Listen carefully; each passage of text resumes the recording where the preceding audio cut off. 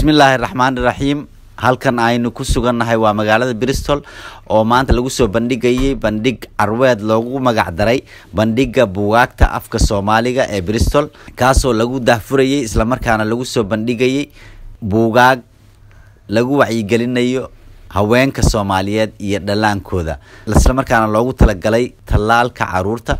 Bandhig carweedkan ayaa waxaa soo qaban qaabiyey jaaliyadda bristol waxaana ka soo qeyb galay takhaatiir isugu jirtay qeybaha kala duwan ee caafimaadka oo ay ka mid ahaayeen doctor abuukar oo ka yimid wadanka talyaaniga iyo doctor sanuure caabi oo iyadu degan magaalada bristol. Dadkii ka soo qeyb galay munaasabadda ayaa hadaladoodii waxaa ka mid ahaa. Bismillahi raxmaan raxiim assalaamu calaykum waraxmat ullahi wabarakaatu salaanta islaamka kadib waxaan aada iyo aada ugu mahad celinayaa ee ururka public voice la yidhaahdo codka shacabka oo xafladdan soo qabanqaabiyey aada iyo aad ayay ugu mahadsan yihiin. Axmed xasan cali iyo brofesor cumar xaaji sabriya cabdulle brother aada ay ugu mahadsan yihiin. Xafladdan la'aantood ma suurta gasheen. Sidoo kale waxaan aada ugu mahad celinayaa oo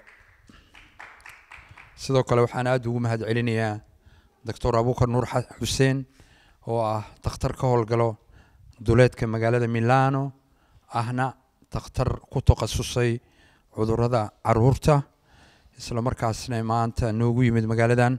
Waxaan ilaah ka rajaynayaa in miisaankiisa xasanaadka ilaahay u kordhiyo maadaama safar dheer uu soo galay. Sidoo kale doctorku wuxuu ku deeqay oo uu rabaa maanta inuu soo bandhigo ama dah furo laba buug oo qiimo leh labadaas buug oo kale ah dhiirigelinta naasnuujinta iyo buugga labaad oo ah tallaalka carruurta ah oo ugu talagalay jaaliyadda soomaaliyeed ee magaalada bristol in si tabaruc ah ay maanta u guddoomaan. Aad u mahadsan yahay doctorka Eh, sidoo kale waxaa iyadana meesha nala fadhida qof khabiir ah oo ku xeel dheer cudurkan autismka oo la yidhaahdo nuuro cumar caabi oo aan rajeynayno maanta inay noo soo gudbiso macluumaad la xiriira cudurkaas sidii laysaga kaashan lahaa oo ay ummadda uga yeelan lahayd waxa la yidhaha dialogue ee uga wada hadli lahayd. Anigaa barnaamijka xiriirinayo waxaa la yidhahdaa cabdiqaadir ruumi waxaan ahay aniga ee kormeeraha hay'adda caafimaadka qaranka ee magaalada birmingham. Waxaan kormeeraa isbitaalada magaalada birmingham barasho wanaagsan marka. Ee, waxaa jiri doono oo kale barnaamijka ku jiri doono buugta in la qaybin doono. Ma fahamsan tahay oo qof kasta buugga uu jeclaysto uu qaadan karo si lacag la'aana. Ee, sidoo kale waxaan rajaynaynaa ee, muxaadarooyinka dadka noo soo jeedinaya ayagana inaan guddoonsiino shahaadooyin oo aan ugu talagalnay inaan ku sharafno ku qiimeyno. Muxaadaradan oo ay nagala soo qayb galeen meesha waxaa kaloo fadhiya asagane abukaati cabdulaahi faarax qaarey oo ka mid a dadka magaalada birmingham ka yimid oo aan rajeynayno asagana inuu kelimad ka yidhaahdo kulankan asagana cabdulaahi faarax qaarey wuu hadli doonaa hadduu ilaahay idmo taasna barnaamijka ayay noogu jirtaa. Sidoo kale waxaa inala joogo bahda warfaafinta inala joogo. Waxaa nala jooga agaasimaha tv-ga qaranka yuusuf garabey oo asagana magaalada london uga yimid xafladan oo nagala soo qaybgalaya maanta. Sidoo kale waxaa nala joogta weriyaha aamina muuse weliye oo iyadana barnaamijka si live ah ee, uga tabin doonto ee, ma fahamsan tahay social media ama baraha bulshada. Aada u mahadsantihiin maadaama waqtiga uu isdaba gurayo waxaan rajaynaynaa inaan waqtiga ka faa'iidaysano maadaama ummadda muslimna aan nahay waxaa sumad sooc noo ah diinta islaamka. Waxaan jeclaan lahayn inaan ku bilaabano aayado qur'aan ah ee waxaa noo akhrinaya cabdul falyatafadal cabdul بسم الله الرحمن الرحيم. والعصر. إن الإنسان لفي خسر. إلا الذين آمنوا وعملوا الصالحات وتواصوا بالحق وتواصوا بالصبر. صدق الله العظيم. jazaak allah aayaddaas waxay ka tagtay male oo wal casri ah ilaahay ee ha noogu dembi dhaafo fadliga ay leedahay. Ee intaas kadib barnaamijka qaybihiisa kala duwan ayaan gelaynaa hadduu ilaahay idmo. Murti soomaali ayaa jirto. Inaan isxasuusino ayaa wanaagsan. Murtida maxay leedahay? Waxay leedahay qofku waa in saddex walxaato midood laga helaa. Soomaalidu waxay tidhaahdaa war lahaaw waran lahaaw waxtar ahaaw. Saddexdaas tilmaamood ayaa dadka lagu qiimeeyaa war lahaaw waa la yidhahdaa qof aftahan ah warkiisa dadka deeqaya noqo. Waran lahaaw nin geesi ah noqo markii loo baahdo duulaan geli karayo. Iyo waxtar ahaaw qof deeqsi noqo. Waxaan ku sifeynayaa magaalada bristol magaalo deeqsi ah. Aad baad umahadsantihin maxay magaaladan deeqsi ku noqotay? Waxay deeqsi ku noqotay martigelinta kulamada waxtarka u leh bulshada magaalada degan ama jaaliyadda. Ma aha markii koowaadaan imaado ma aha markii labaadoo imaado. Marar badan ayaan imid gogol ayaa noo fidiseen oo weliba si sharaf leh qiimo leh qadarin leh aad baad ugu mahadsantihiin ilaahayna khayr ha siiyo. Intaas kadib waxaan jeclaan lahaa inaan ku soo dhaweeyey ereygii soo dhaweynta meeshaan inuu ka jeediyo professor cumar xaaji sabriye cabdulle. Brother welcome. Habeen wanaagsan iyo waxaan soo keeni daray asalaamu calaykum labaasna waa isriixaan marka marka weyna uu saddexaad waa asalaamu calaykum waraxmatullaahi wabarakaatu calaykum salaam. Walaalayaal horta marka hore waxaan idinkaga mahad celinayaa aniga anoo ah cumar sabri. Kana mid ah odayaashii magaaladan degan imaadka iyo soo muuqaalka aad ku timideen meeshaan. Wicitaanka oo idin wacnay oo noogu timideen. Dhammaantiin si gaara waxaan xusaa marka odayaasha dhinacaas fadhiyo oo akhyaartii beledka oo ka mid yahay maxamed siid cumar shuuci iyo intaasoo dhan waxaa ku xiga markaas mar labaad muumin oo saaxiibkay ah oo runtii aniga aan ku barti qaada inta inuu yimaado isagana waa dadka hortooda muumina waa ku baad celina insha allah dhinaca marka aan samaro dhammaan dumarka meesha fadhiyo gabdhaha hooyooyinka دمانتين اذنكنا آذن ان كوكم هذا عليها اسلا مركاسنا انها كفائدة ستين. حفلة دان وحفلة هذه كلها قدوان. وهي حمارسن تاين واركتين بوقت باشتال واركتين تقاتير هي داد خبرة أولى. عافمات كنا واذين فديان. هذا مركا دين عن اوي ماذا. يبان لك مركا كوهات.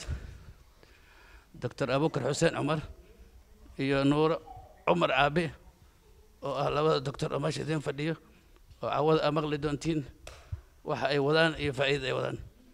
Waxaan aad asna aad ugu soo dhaweynaa bristol iyo macal xafladda doctor qaari oo kolligeyga waxbarashada ah oo saaxiibkay ahay waxaasoo dhan waxaa si ka weyn haddana ama dhihi karaa mataqaanaa ka sii culus.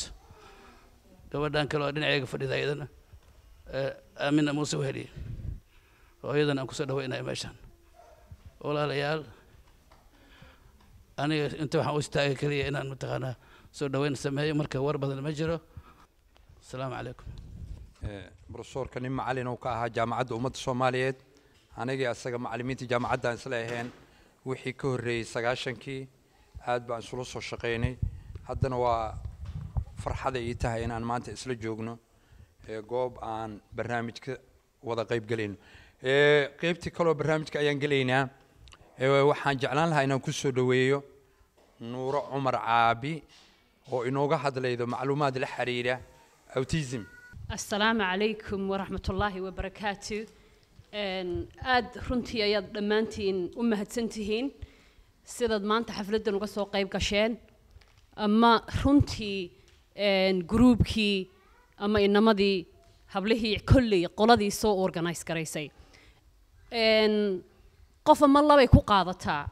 Inuu adduunka isbeddel ku yimaado ama uu tallaabo qaado?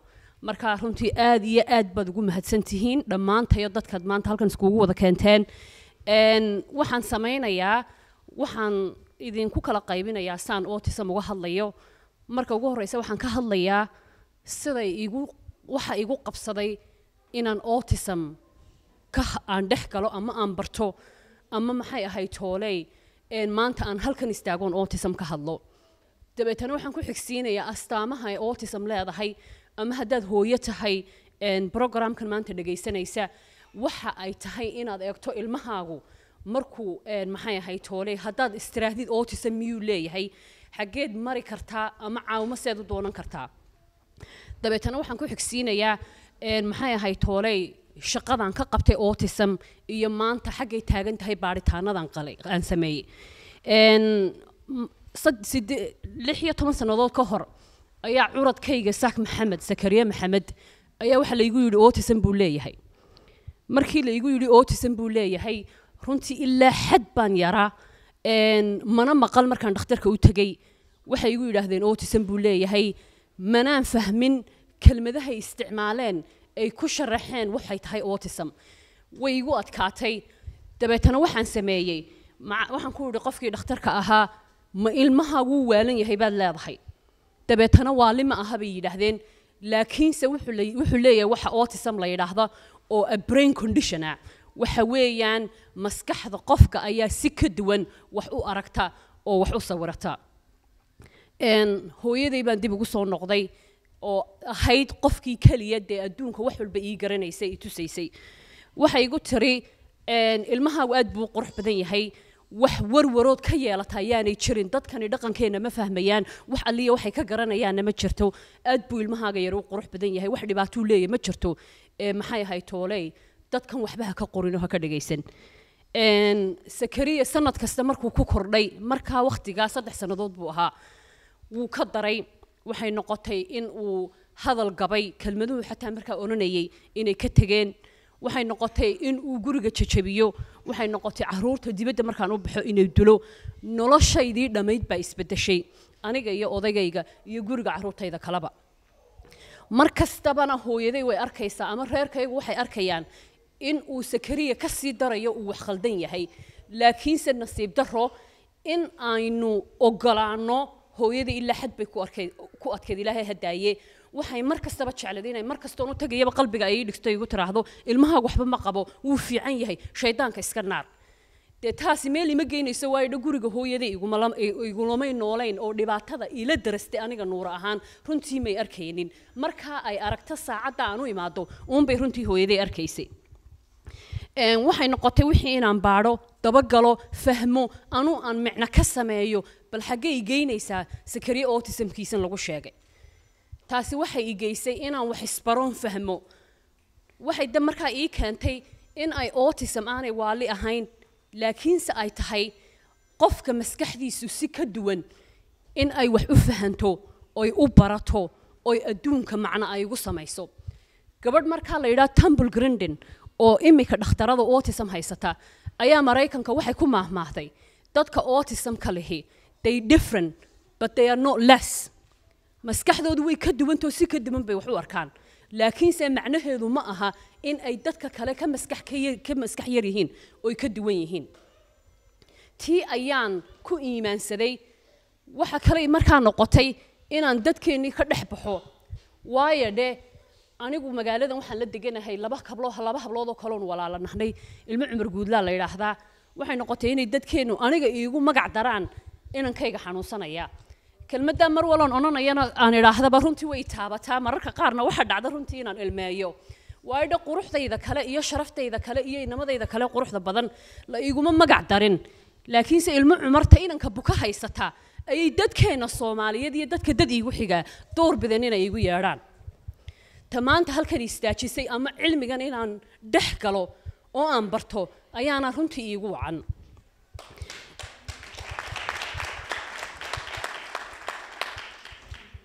Maxay ahay toole waxay noqotay markaa dadka cad inaan dhex galo inaan anu wax isbaro inaan sakariyo aan his voice codkiisii aan u noqdo inta uu cod isagu uu leeyahay uu yeelan doono ama uu cagihiisa isku istaagayo wax kale nolosha maan xiisayn jirin waxaan akhrini jiray oon baadhi jiray oon tegi jiray si aan u fahmo saan sakariye cagihiisa ugu istaajiyo uu hooyo ii odhan lahaa.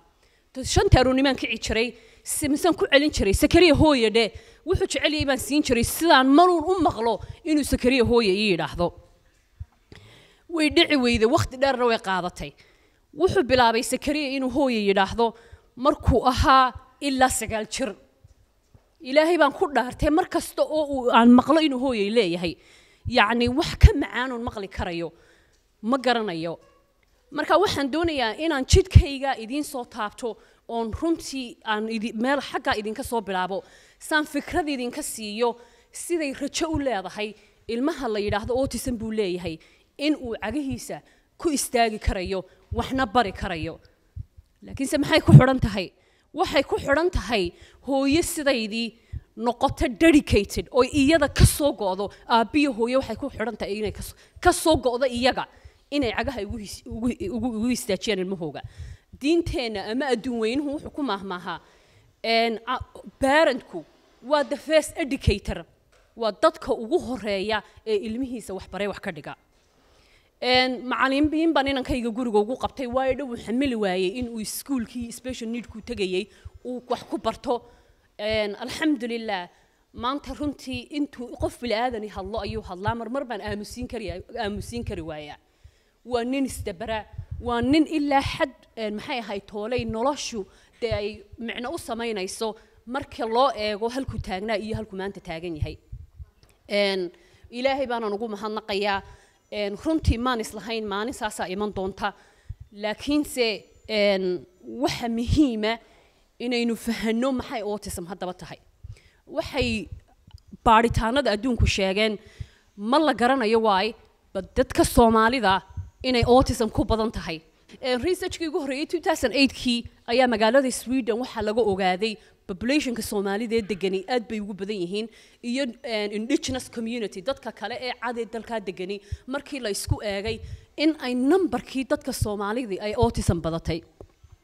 Dabeetana 2010kii ayaa tiimkaa markaa ugu horreeyey ogaaday inay dadka soomaalida autism ku badan tahay ayay ku celiyeen.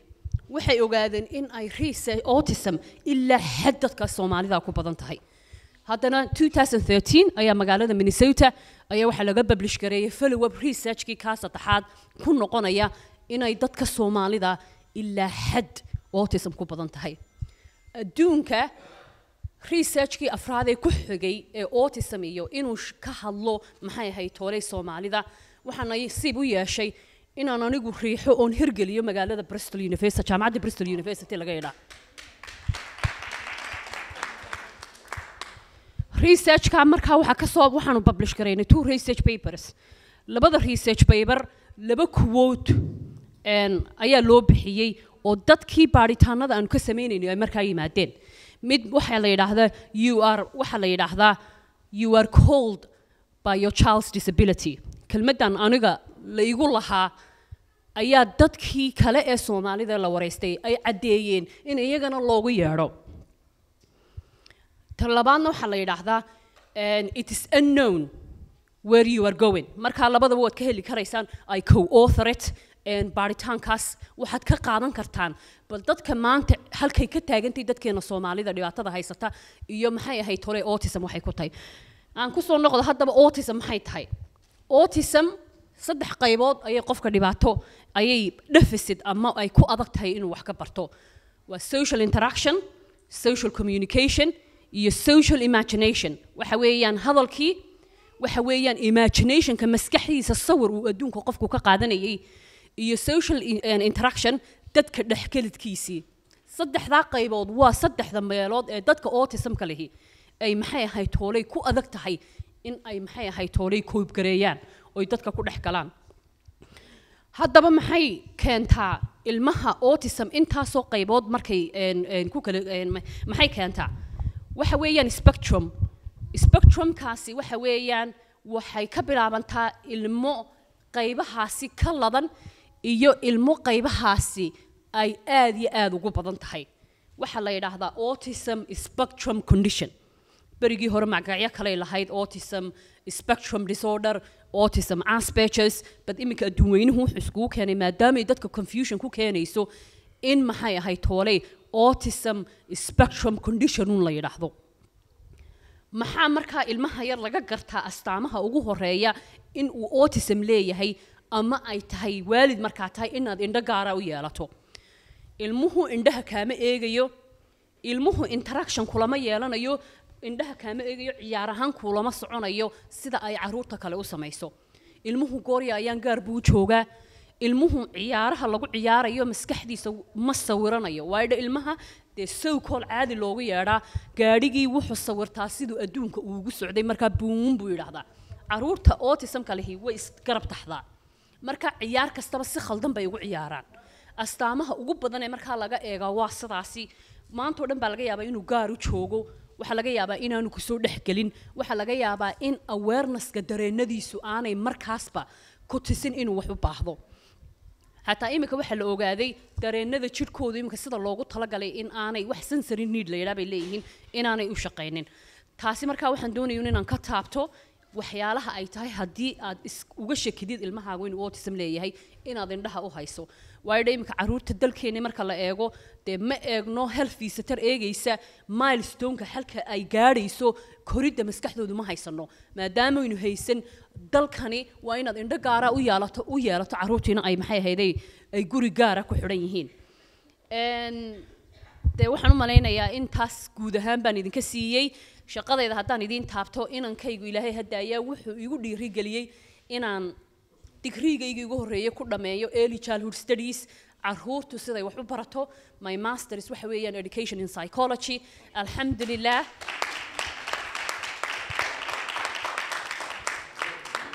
I have just been waxaan la accept gareeyay jaamacadda Bristol University inaan study gareeyo autism and ethnicity. Marka proposalka PhD-gaygu wuxuu eegayaa gaar ahaan Soomaalida. I will go back Somalia and Somaliland in aan baadho oon maxay ahayd tooley fahmo bal maxay autism dalkeedii uga muuqan weyday. Waxaan satab gareeyay an organisation la yidhaha autism independence. Aniga am all about independence. Siduu ilmuhu cagihiisa ugu istaagi lahaa having the child at the center of waxaad qabanaysaan oo dhan in ay suurtagal ay tahayna inuu independent noqdo inuu shaqaysan karo inuu reer yeelan karo inuu caafimaad yeelan karo. Rajo inay jirto bad waxaan kale ka horreeya oo dhan inaad marto runtii aad baad umahadsan tihiin please follow us on social media ninkayagoo dhan xaggaasay ku taallaa. Khayr baan idin rajaynaya. Asalaamu calaykum. Bismi raxmaan raxiim eh, jazaaka allahan leenahay eh, nuuro cabiye barnaamij aada u fiican waaye. Eh, saddex fariin ayaan rabaa inaan kala soo baxo arrinteeda oo forumka aan sameeyey aniga iskaga mid ee meesha ka baaqday. Kow waxay u hadashay si open ah si saraaxad leh u hadashay. Realityga ayay miiska soo saartay. Soomaali haddaan arrimahaas waa nagu adagtahay hooyo inay soo istaagta tiraahdo problem kana igu dhacay kana igu dhacay kana igu dhacay. Waa nagu adagtahay waxayn oo dhan waxaa moodaa inay yihiin confidential. Wax kasta privacy aan ka dhigin. Arrinta laga rabo barnaamijkan oo kale saas waay si open qofka inuu hadlo saraaxad leh arrinta labaad aan ka faa'iidaysanin maxaa waay? Waxay tiri waa liisha ah aan isdhegaysan arrinta labaad ay sheegtay maxaa waay? Waa arrinta haddaad sheegay stigma. Stigma waxaa waay dadkii aan la ceebeynaya qofkii asagoo problem haysto a waxaa leeyahay cunuggeeda disableka qabe hebel qabe hebel qabe maxaa nagala rabaa? Idinka dadkiina caawa ka soo qayb gala maxaa la rabaa? Inaad ka shaqaydaan hawshaas ay hayso oo aad abuurtaan wax la yidhaahdo free label society. Ummad ka badax bannaan shaabadaynta free label. Label waa waxay sheegtay hadda. Shaabadayn waa qofkii ala shaabadaynaa cunugeeda curyaan waay kan waay kan waay. Free label aa la rabaa. Qofka in laga dhaafo shaabadaynta ayaa la rabaa. Ujeeddada laga leeyahay open forumka ay samayn doonta kaas waa in free label lagu gaaro. Arrinta saddexaad oo laga rabo maxaa waay? Ee afka ku sheegtay. Waxay noo sheegtay recovery is possible for all children waxay tiri dib kabasho waa u suuragal dhammaan carruurta qabto. Arrintaas maxaa waay? Hoob waay rajo waay. Rajay abuuraysaa aad umadsantaha nuura. Eh, Bismillahi raxmaan raxiim barnaamijkeenaan sii wadanaynaa fahamsan tahay? Eh, waxaa nala fadhiya oon rabaa haatan inaan kelimad uu meeshan ka soo jeediyo eh, kaalinta aqoon-yahanka laga filanayo inuu u gudbiyo bulshada. Kaalinta aqoon-yahanka maxaa waaye nabiga allahuma salli wasalam caleyh ilaahay muxuu ka nabadgalay ilaahay arrinuu ka nabadgalay allaahuma inii acuudu bika min cilmi laa yanfacu yidhi nabiga allahuma salli wasalam caleyh ducadiis. Ilaah waxaan kaa mangalay aqoon aanan waxtar lahayn. Goormay tahay aqoonta midaan waxtar lahayn markaa gurigaaga la fadhiisato oo aada message gudbi weydo cilmiga cilmiga ugu fiican maxaa waay? Cilmu naafici waay. Cilmiga waxtar leh ummadda ka faa'iidaysan karto aad la wadaagi karto. Maxaa dhaca mas'uuliyadda waa aqoonta qofkii kale waa ka duwan tahay cilmigaaga wax ma taraya haddaa gurigaaga la fadhiisato oo reerkaaga ku ekaato. Waxaa la rabaa cilmiga inaad gudbiso dadka la wadaagto lagaa faa'iidaysto oo cilmigaaga noqdo cilmi waxtar leh oo kii nebiga allahuma salli wasallam caleyh uu ka magangalay oo ahaa cilmun laa yanfac cilmi aan waxba tarayn ilaahay aan ka magangalnay ee waxaan hadda ku soo dhaweynaya abukaat cabdulaahi faarax qari oo kaalinta aqoonyahanka nooga hadli doono bismi illaahi raxmaan iraxiim asalaamu calaykum waraxmatullaahi wabarakaatu dhammaantiin waan idin salaamayaa. Waxaan codsanayaa marka koowaad.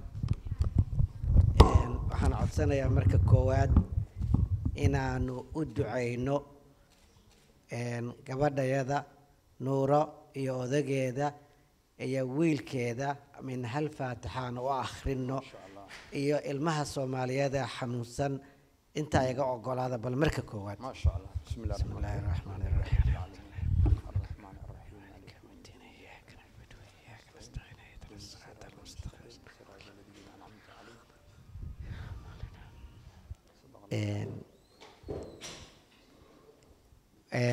ilaahay ha xafido ilaahay ha u fududeeyo.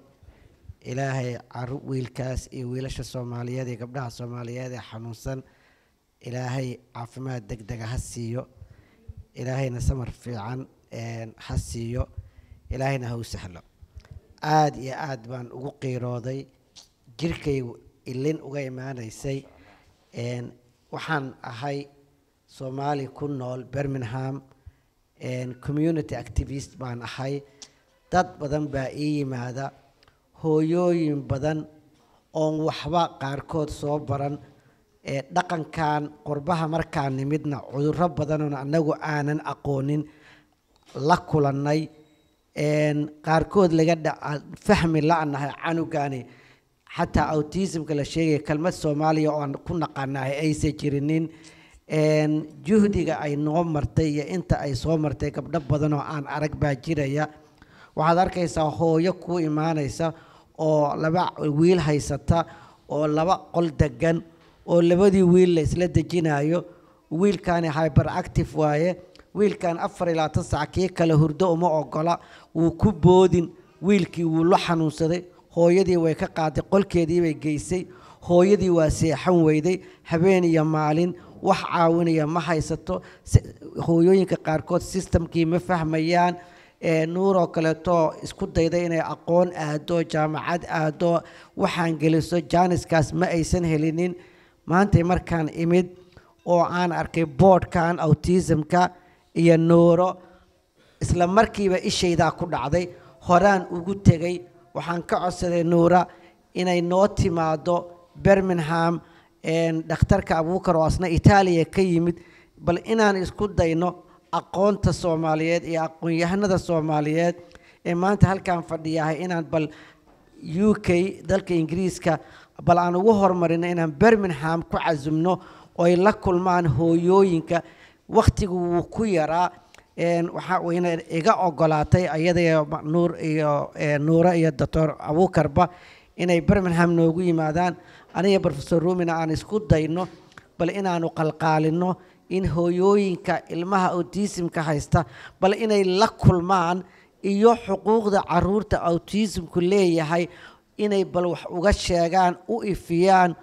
Waa mahad ilaahay first generationkii koowaad inay dalka iyo aqoontii dhex galaan oo ay markaa ugu soo jeestaan inay bulshadii soomaaliyeed ay u yimaadaan. Nuura aad baad u mahadsan tahay doctor abuukar oo asna kaalintiisa muhiimka qaadan doona.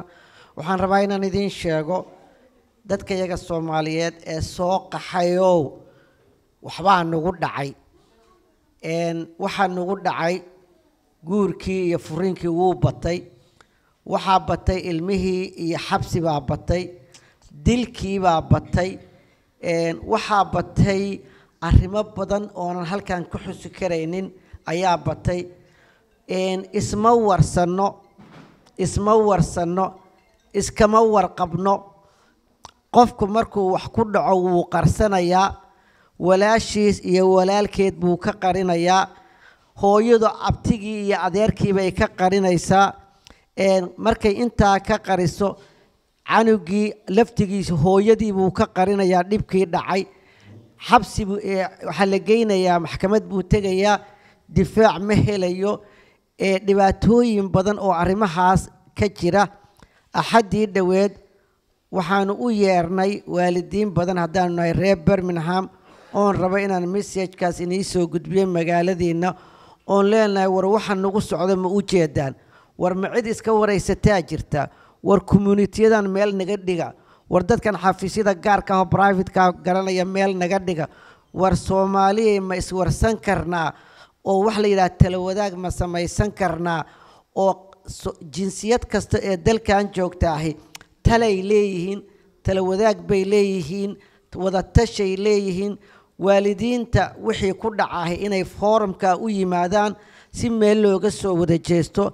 Haddii wiil dembi galo ee hooyadii ama waalidkii uusan solicitor ama avocaato uusan u qaban karin inay bulshada soomaaliyeed ee magaaladaa degani lacag intay isku daraan wiilkaas solicitor loo qabto. Haddii qof mataqaanaa dhibaata ku dhacdo loo gurmado soomaaliya qabiil iyo qabyaaladi way ka baaba'day. Meel kasta oo tagtid qofkii qurbaha ka tagaa markuu soo laabto oo aad tirahdid qofku yidhaha yaa tahay maaragtay. Wuxuu ku dhaaranayaa wuxuu ku leeyahy inaanan arag.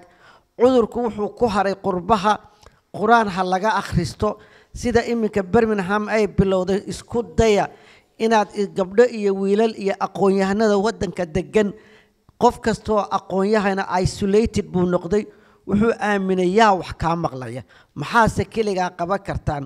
U yeerta oo isku yeerta oo tashada oo bil walbaba maxaa nagu soo kordhay magaaladayadan oo aan wax ka qabanaa is-aamina oo is-ogolaada markaas baan aqoontayadii iyo khibradayadii iyo waayo aragnimadayadii ayaan gaaraynaa waxaan kaloo idinkala dardaarmaynaa ilmaha aan dhalnay oon leenahay waxba ma garanayo. Hadda jaamacadu ka bax jaamacad buu dhigtaa. Hooyadii foomka la buuxinayo uma ogola.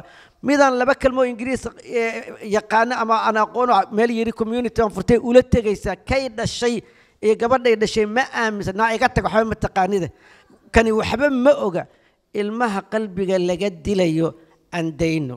Way naga aqoon badan yihiin.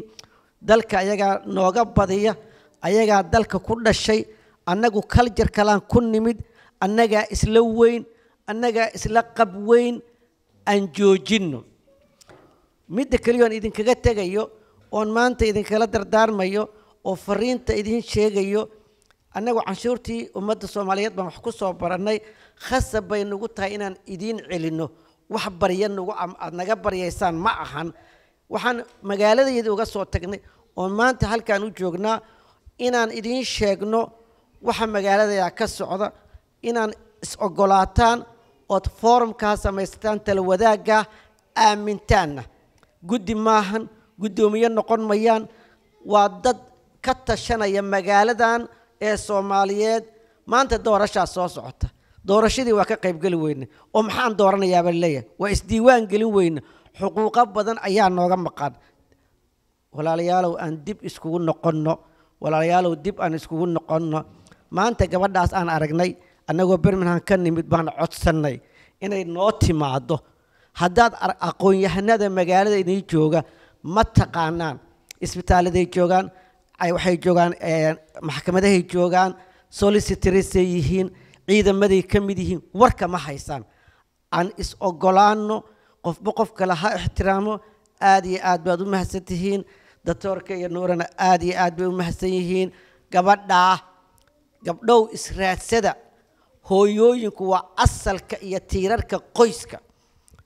Waxa culaysku ku dhacaya oo ugu badan oo habeen iyo maalin carruurta u soo jeedaa waa hooyooyinka.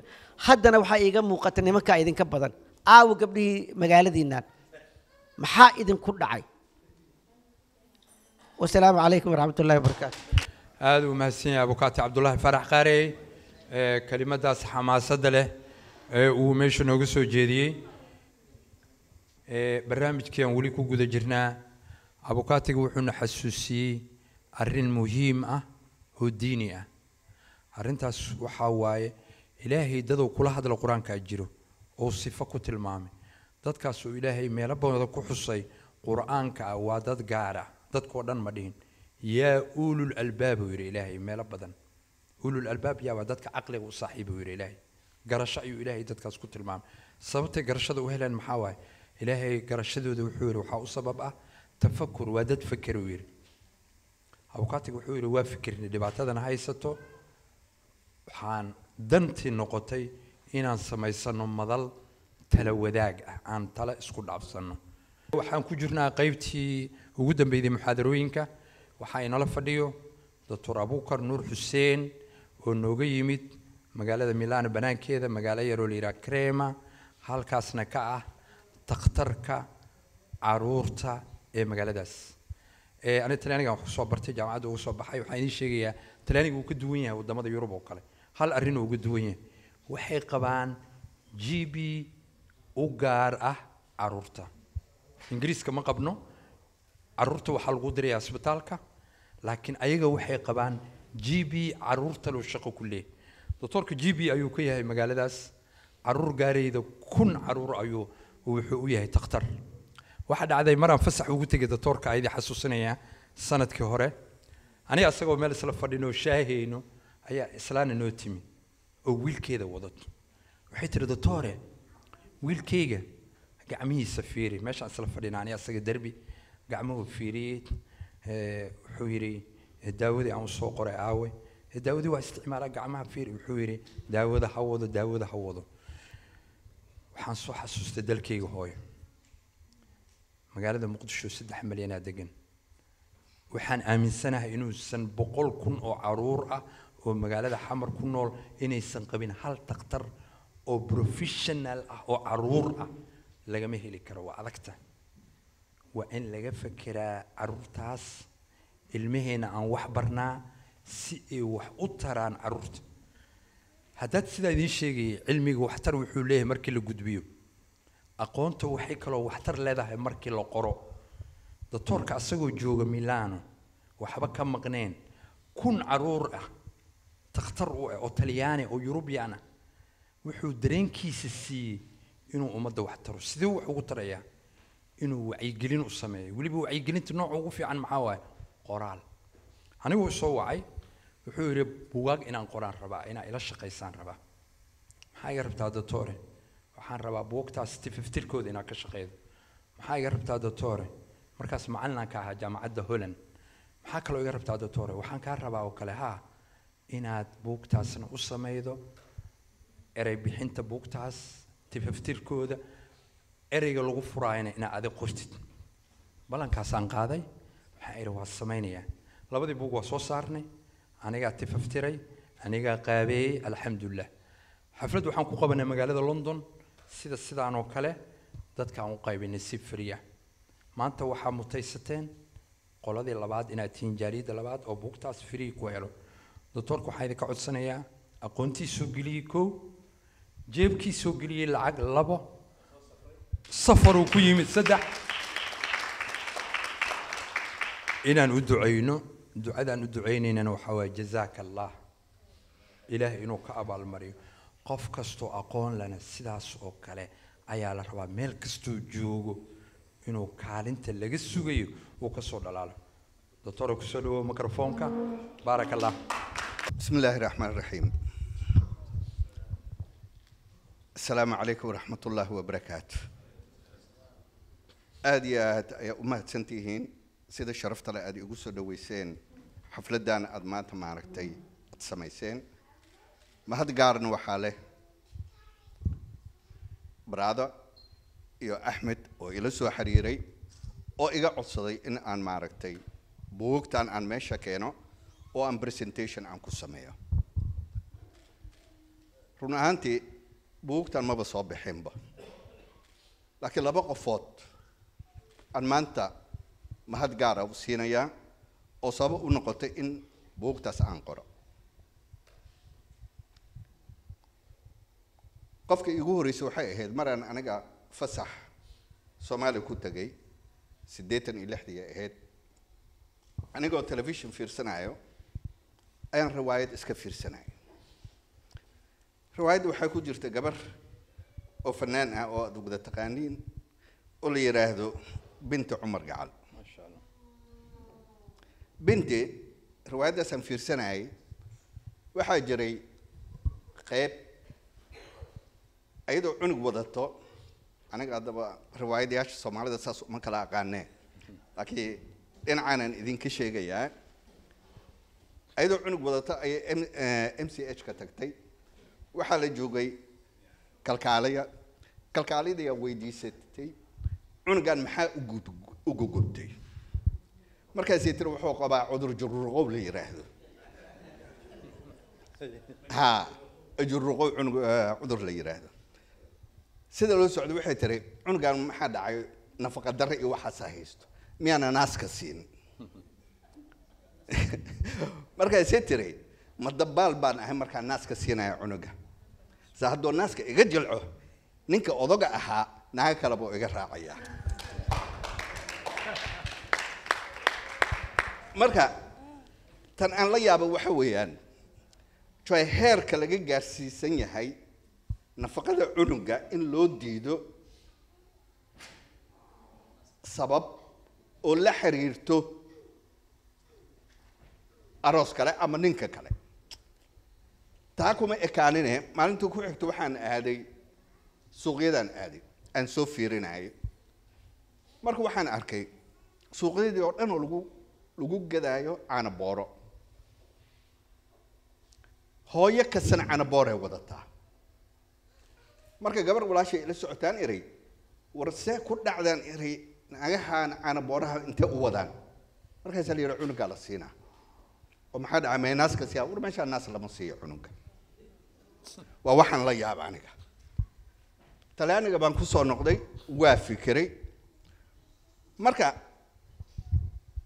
waxaan isweydiiyey waagii aan annaga yareen ama aan soo kornay oo hooyada iyada naaskana sii jirtay marka canaboorana ma jirin mana la isweydii jirin odaga baa naa kaleeta raacaya naaska cunuga ha siinayo kaa jilcina marka waxaan iray ma aqoon darree ka tahay mase wax kaleetay ka tahay. Miyaysan aqoonin nafaqada ugu horeyso oo cunuga quudan karo in ay tahay naaska hooyada. In maaragtay caanabooraha ay ku ordaayaan ay siinayaan in loo baahan yahay xanaanad goonni ah iyo biyo nadiif goonni ah oo cunuga la sii karo ama cunuga caanabooraha aad sii kartid oo ka qaadi karo shuban iyo cudurro kaleeto.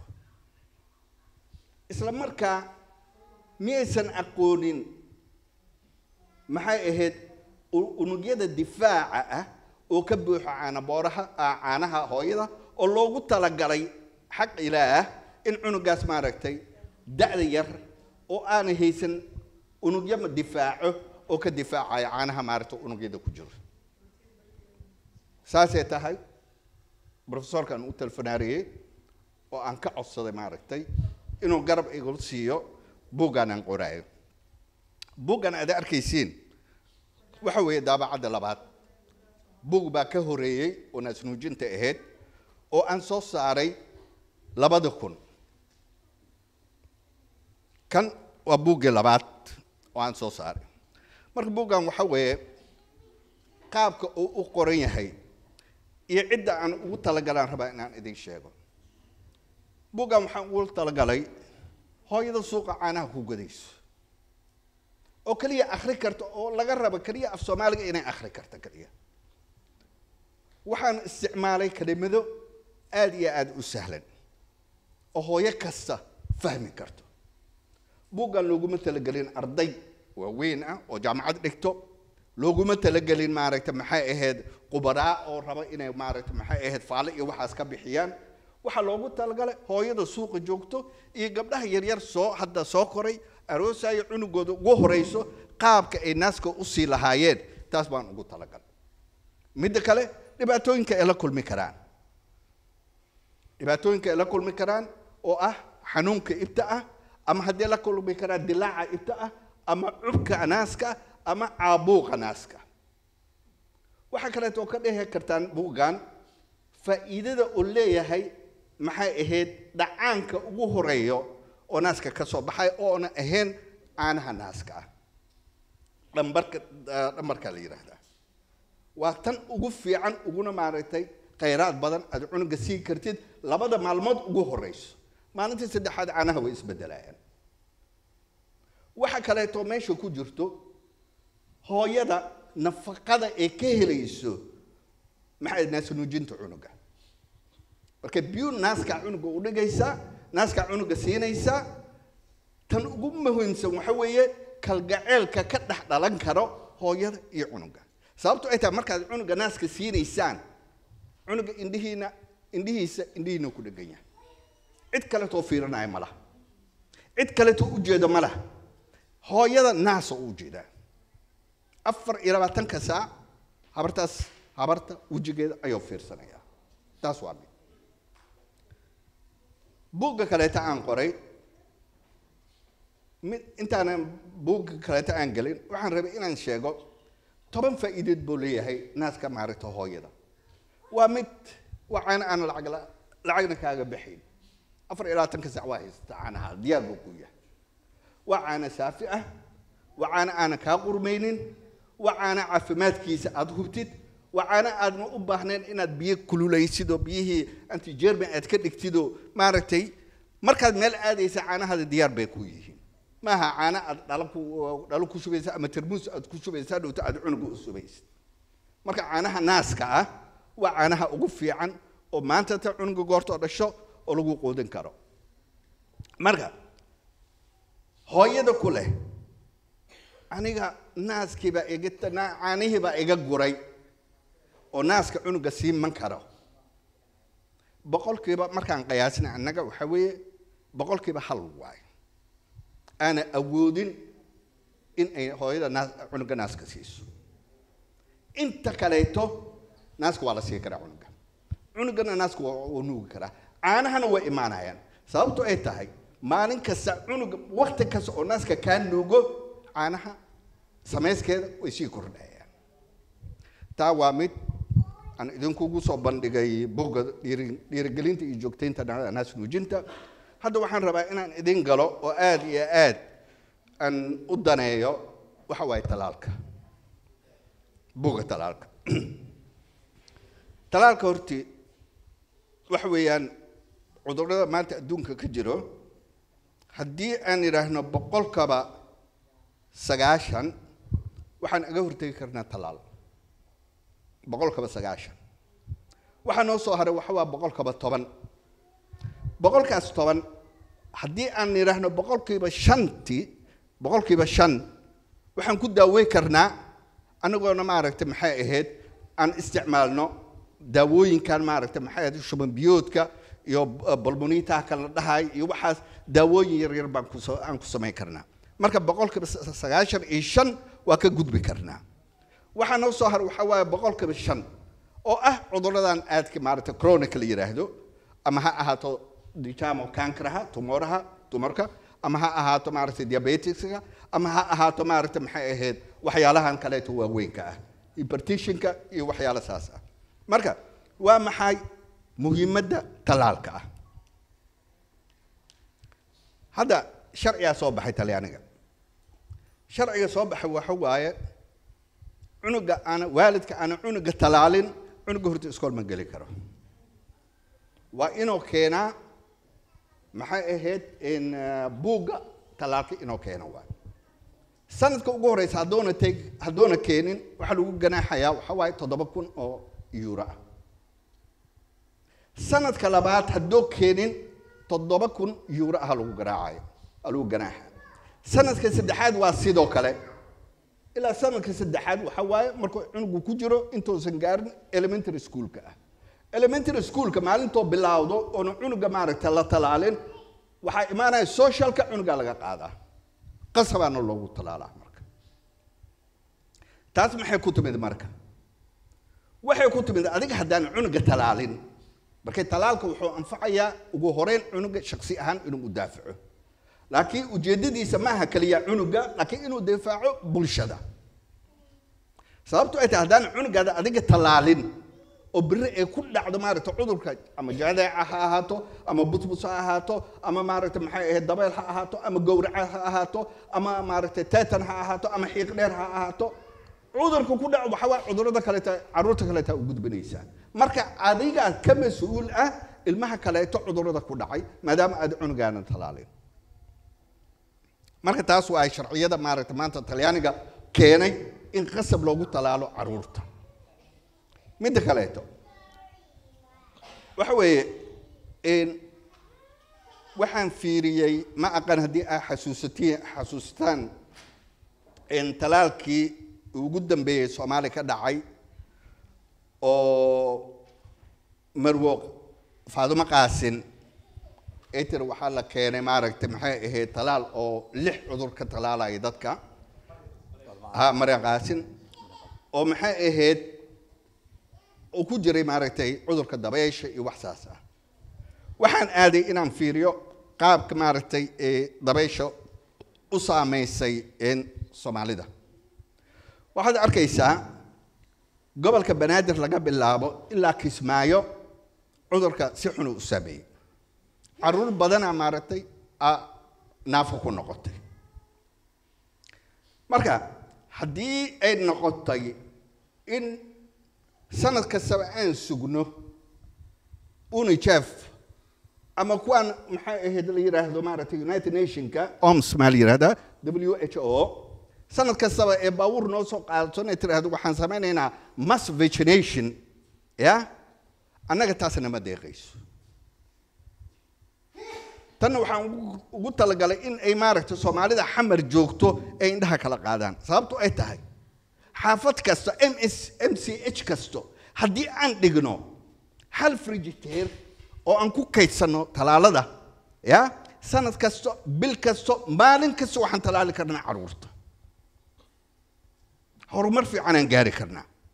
Laakiin marka noola keeno annaga wasiir caafimaad ah wasiir caafimaad ah oo shaqadiisoo dhan ay tahay in oo maaragtay daawooyin soo qaado oo yidhaahdo isbitaalkaan aan geeyey annaga taasna ma anfacdo igar ahaada ma aha laakiin wax aan aniga mucaarad ahaan aan u soo jeedinayo laakiin waxa waaye talo meesha ka timid waaye annaga waxaan u baahannahay wasiir caafimaad ah oo ka hortago cudurradan talaalka ah oo barnaamij keensado oo barnaamijkaas maaragtay hirgeliyo oo maaragtay kalkaaliyaal badan la sameeyo. Hadda experience waxaa laga qaataa dowladaha kaa horumaray aniga talyaaniga markaan fiiriyey waxaa jira iskoolaad laga barta keliya ilmaha sida loo talaalo. Waxaa ka soo baxo boqolaalo maaragta maxay ahayd arday ah. Aa loo qaybiyaa xaafadaha iyo gobollada. Si ay keliya ilmaha u talaalaan annaga ma haysano annaga waxaa waaya markuu talaalka soo dhowaado labadoo beri saddexdoo beri ka hor aa maaragta tababar yar in la siiyo aa soco la leeyahay. Annaga joogtaan u rabnaa talaalka. Midda kale.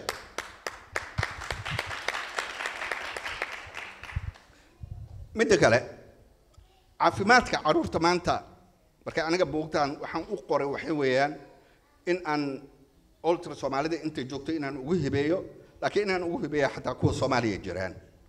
Siiba buugtan in loo qaybiyo m c h yaasha oo gobolka banaadir maadaama meesha ugu weyn oo saddex milyan la leeyahay ee degan tahay nin walba waxa waaye tabartiisa intay noqon kartaa maaragtay ayuu samayn karaa. Marka dhibaatooyin badanaan haysto. Xagga caafimaadka xagga nadaafadda sababto ay tahay nadaafadda haddaysan meesha ku jirin caafimaad ma jiro marka anigu waxaan idinka nasiibaa haysatiin waxaad joogtiin waddamo maaragta maxay ahayd horumar gaaray. Waxaa jirto soomaali badan ila soo xiriirtay anoo itaaliya joogo oo ingiriis ah ingiriiska. Oo iga codsaday inaan tala ka siiyo talaalka m m m r-ka m m r-ka waa la socotiin waxaa dhashay in la yidhaahdo miiska oo ka mas'uul yahay autismka. Saas daraaddeed soomaali badan aanan talaalin caruurtooda. Isla markaasna statistika ka soo baxday ingiriiska waxaa lagu caddeeyey sanadayaasha dambe sanadayaashan dambe in intaasoo carruur ee u dhimatay misliska sababna u noqotay in laga cabsaday in talaalkaas oo mas'uul ka yahay autismaha taasna waxaa soo geliyey doctor oo doctor maxaa la yidhaahdaa oo ha wikileaks oo ah doctor ingiriis ah. Lagu ogaaday marka dambeeto in oo lacag ka qaata warshad. Saas daraaddeed oo u soo geliyey beentan. Marka waxay weydiiseen haddii ay dhab tahay in talaalka oo mas'uul ka yahay autismiga.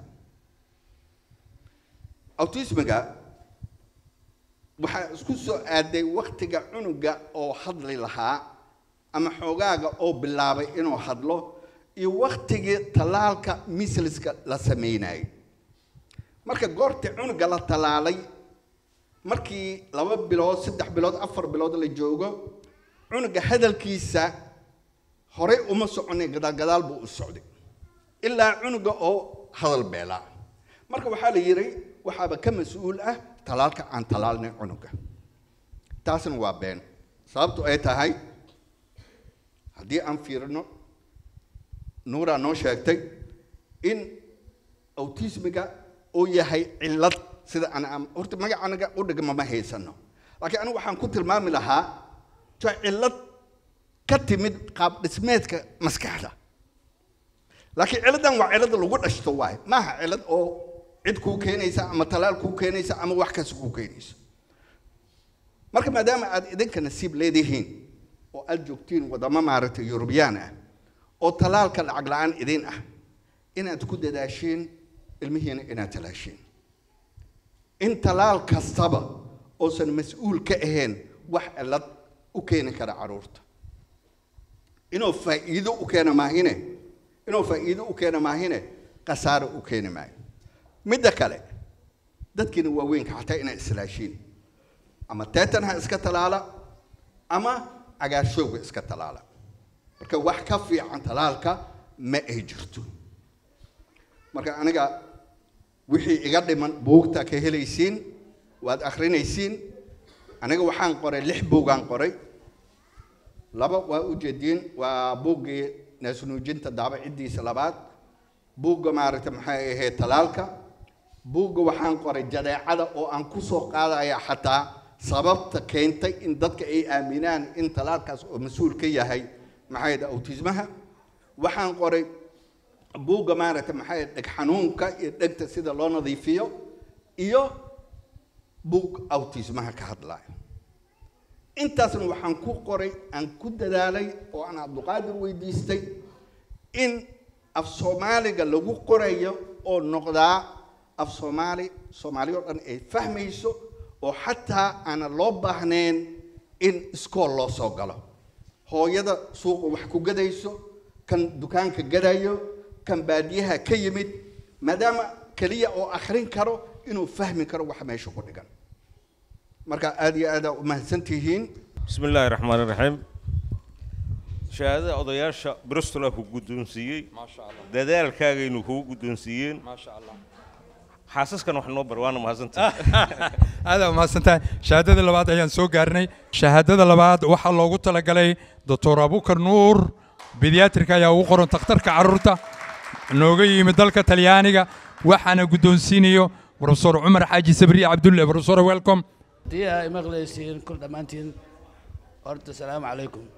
Doctor abokar oo nooga yimid mataqaanaa meesha talyaaniga xaggiisa? Muddo dheer oo dheer oo dheer waxaan ku fikirayna aniga rag kale. Maadaama cashara loo baahan yahay kuwaan oo kale ah. Yaa ku toosan yaa se wacdiin horta. Marka ninkan iyo nin kaloo maqan oo ilaahay caafimaadaas iyo islaantiisa allah u caafiyo. Labadaba waxaan ku marti qaadnay aniga iyo axmed iyo rag kaloo badan ee nimanka walaalaheena inaan u waco. Isagana oo waco una sheegno baahida aan u qabno mataqaan advice. Waxaa kaloo raacsan maanta idinka idin sheegaa nuure cumar caabi sidoo kale. Gabar maaragtay maasha allah markaas qaangaar ku ah mataqaanaa ururkan cudurkan dhibka badan hadda ay ka sheekeynayso autism